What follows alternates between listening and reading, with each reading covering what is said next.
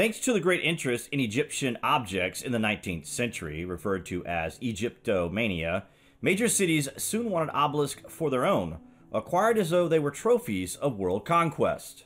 France and Britain were gifted a few as a reward for their actions against Napoleon, but at least in the case of an ill fated vessel headed to London, not without great cost on a monetary level, and a death of six men in the process.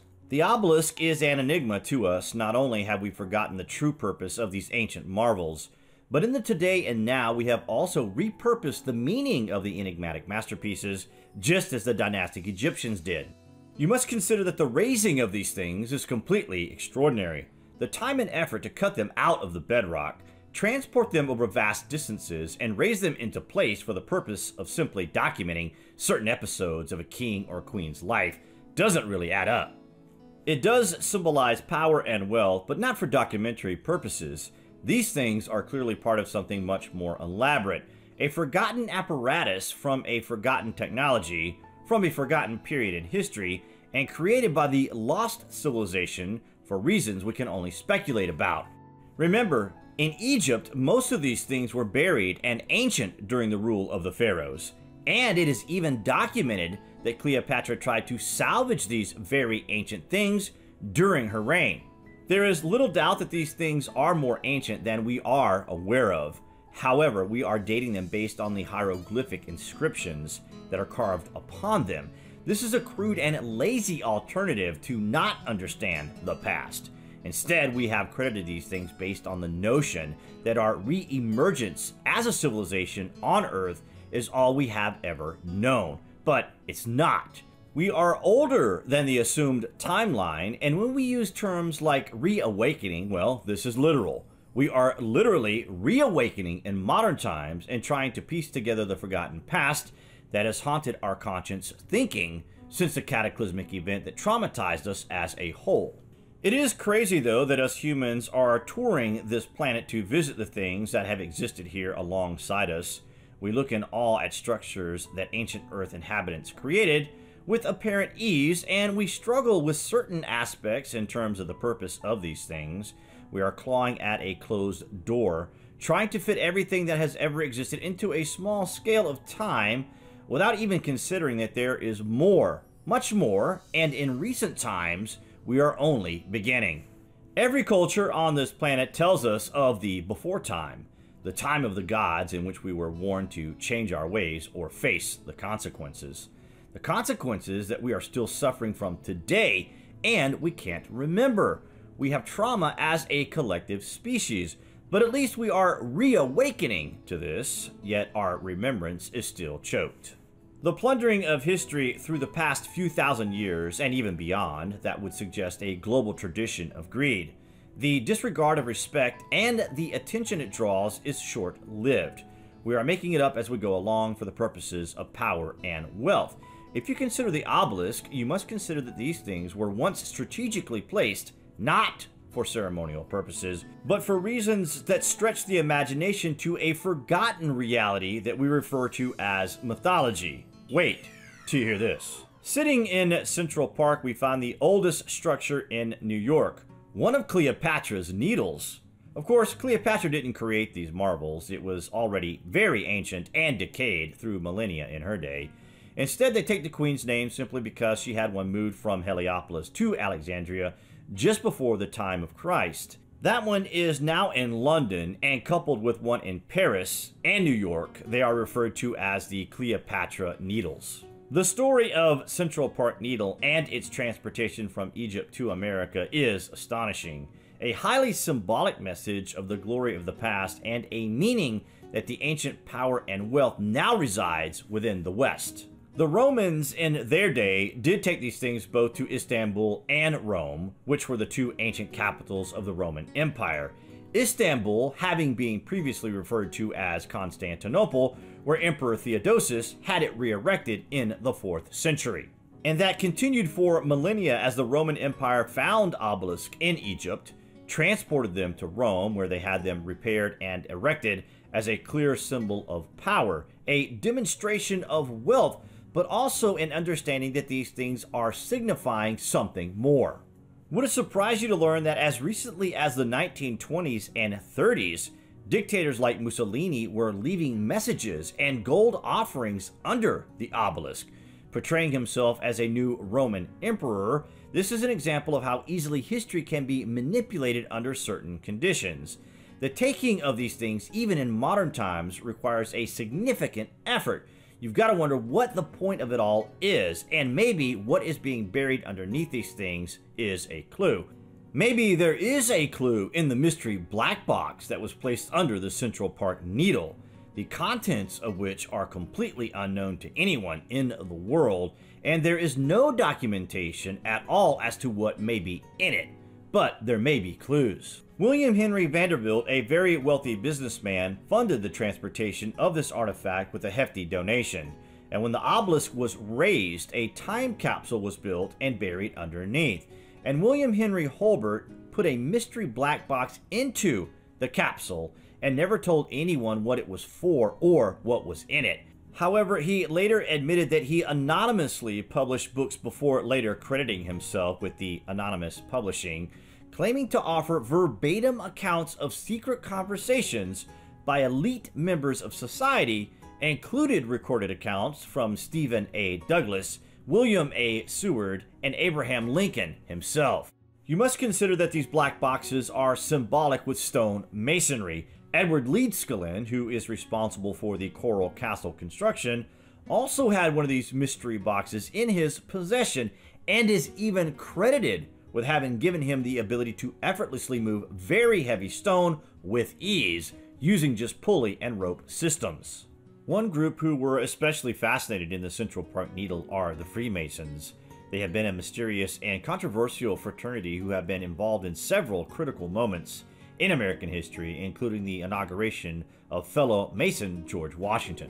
A Mason engineer and adventurer named Henry Honeychurch Gorringe discovered an incredible secret on the remaining Alexandria obelisk, a secret that might link the secretive organization to the beginning of human civilization as we know it. We can speculate that at New York City, a city that mesmerizes the imagination for its use of the heaviest stone material available, that this obelisk and indeed the little inconspicuous black box that is buried underneath may be generating mystical powers beyond our comprehension and indeed beyond our understanding. In this sense, the needle in Central Park may be transmitting energy of some sort to enable the use of stone on this scale. Maybe. First conceived as an idea to lure more trade opportunities between the US and Egypt, this one single gesture may be one of the most significant undertakings in American history, and we are going to tell you why. On February 22, 1881, a truly monumental occasion took place in the grand halls of the Metropolitan Museum of Art. The formal presentation of the so-called Cleopatra's Needle to the city of New York by the Egyptian government was taking place. The public interest this generated at the time was like the equivalent of the Queen of Egypt arriving in the city herself. There was an overwhelming excitement in the air as the wealthy New Yorkers watched in awe at this industrious symbol that was now part of their own city. But of course, the story doesn't start here, nor will it end here. If we are not understanding these things, but knowing of their power, then at least we can grasp a basic understanding that this is commonly in our thoughts. A feeling of intuition that overcomes our emotion when in the presence of such majestic things described as the heaviest piece of stone brought to Manhattan since the glaciers and weighing in at over 220 tons and standing proud at 70 feet tall, the story of the arrival of this thing is just incredible. This obelisk was inscribed with hieroglyphics 3,500 years ago when it was repurposed by the dynastic Egyptians. Though we feel it is much older and a remnant of a forgotten and lost civilization, possibly dating back beyond the Younger Dryas, but unclear when it was actually quarried. Though to have stood in Heliopolis until it was toppled by Persian invaders, it lay in the sand, eroding for millennia, before the Romans salvaged it and attempted a restore under Julius Caesar. Thutmose III amassed the greatest empire in dynastic Egyptian history during his 54 year reign. The pharaoh came to power in 1479 BC and claimed to have conquered more than 300 cities from Syria to Sudan, leading his army from a chariot sheathed in gold. To celebrate his 30th year of rule, the pharaoh asked for a pair of pillars to flank the Sun Temple in Heliopolis. While Thutmose inscribed them with his name, two other kings later seized them and added their own self-serving hieroglyphs to the four sides. Pharaoh Ramses II, who reigned from 1279 to 1212 BC, inscribed his praises and left little room for Osorkon I, who crammed his moniker on a lower edge. Obvious examples of these very ancient things were used to document the king's existence, and a clear suggestion that they had no idea what these things were before they began inscribing, despite claims that they were quarried during this time at Aswan there is no indication as to what tools were used to cut it or how they proposed to move these things, let alone raise them into position. It's all very patchy, suggesting the history we are told is in that of a short-sighted one on our part.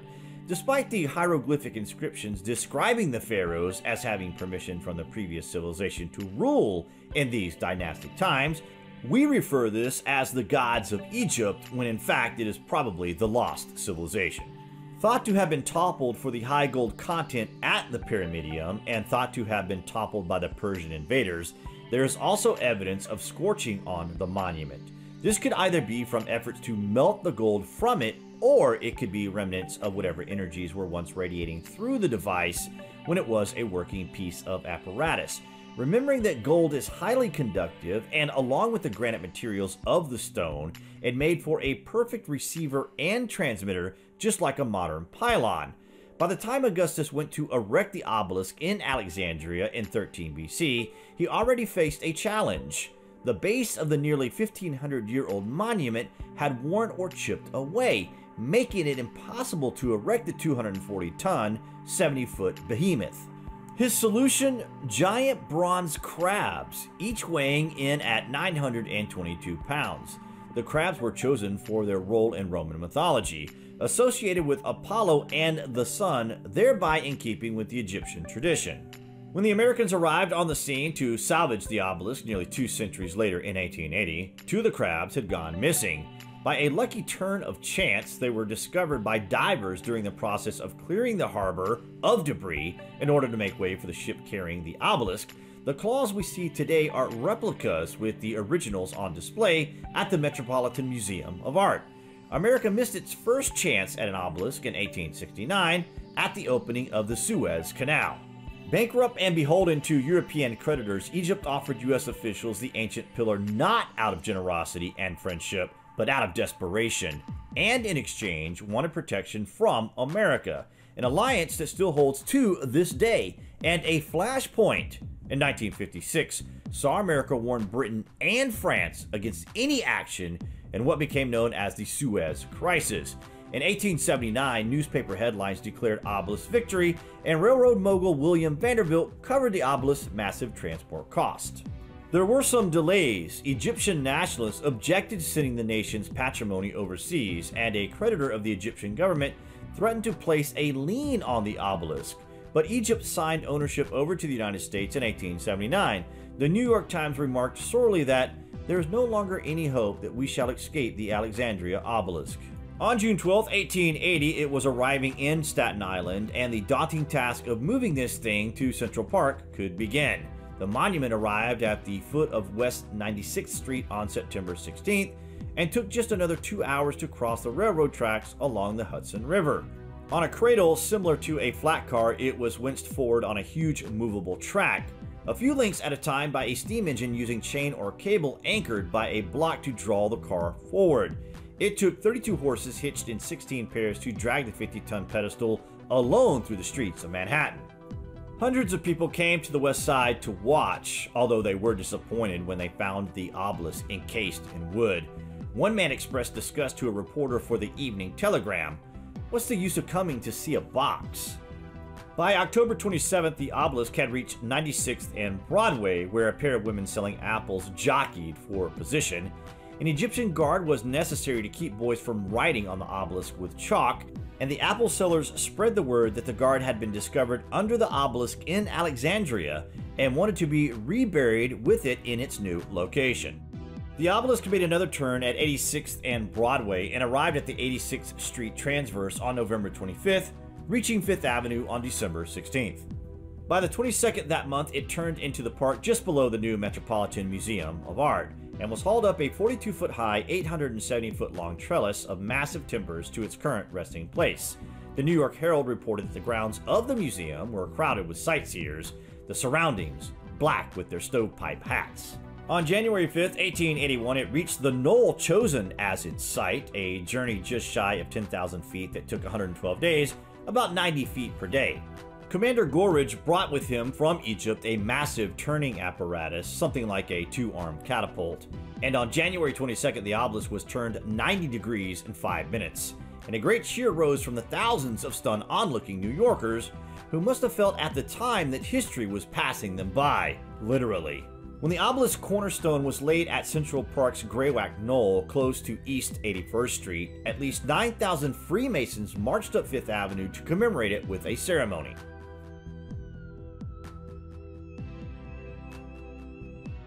New York merchants, including a needle company, doled out trading cards in honor of the artifact, showing the Queen of the Nile threading not a needle, but an obelisk, a candy stand trailed the monument on the voyage to its new home, while another merchant sold Cleopatra dates in an obelisk-shaped box. Before it was erected, a time capsule was buried under its base with documents including the 1870 census, a copy of the Declaration of Independence, Webster's Dictionary, and a small box from William Henry Hurlbert.